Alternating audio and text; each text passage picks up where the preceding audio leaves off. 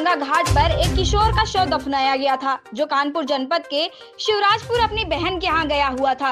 वहीं परिजनों को सूचना दी गई थी कि उनके लड़के की बम्बा में डूबने से मौत हो गई है। मृतक किशोर के पिता के अनुसार, गाँव के ही कुछ लोगों ने उन्हें बहला फुसलाकर किशोर का अंतिम संस्कार कराते हुए गंगा घाट पर शव दफना दिया था, लेकिन उन्हें ये आशंका थी कि उनके बेटे की हत्या की गई है। उन्होंने आला अधिकारियों को इस बारे में जानकारी दी तो अधिकारियों ने शव को कब्र से निकलवाकर पोस्टमार्टम के लिए भेजा है।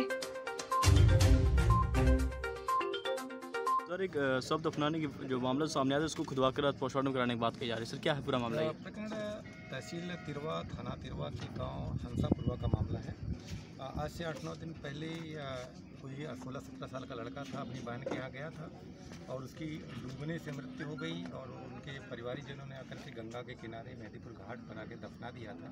लेकिन ना परिजनों की शिकायत पर कि इसकी कहीं हत्या की आशंका है, जिला मजिस्ट्रेट महोदय के आदेश से जो कल उनको पारित किया गया था, हमें क्षेत्राधिकारी कन्नौज तथा एस एच तिरवा की उपस्थिति में इस शव को जो दफनाया गया था, निकलवा करके पुनः इसका पोस्टमार्टम कराने का आदेश मिला था, जिसके क्रम में आज हम सब लोग मेहदी घाट के गंगा के किनारे आकर के शव को निकलवा करके पोस्टमार्टम हेतु भेज रहे हैं।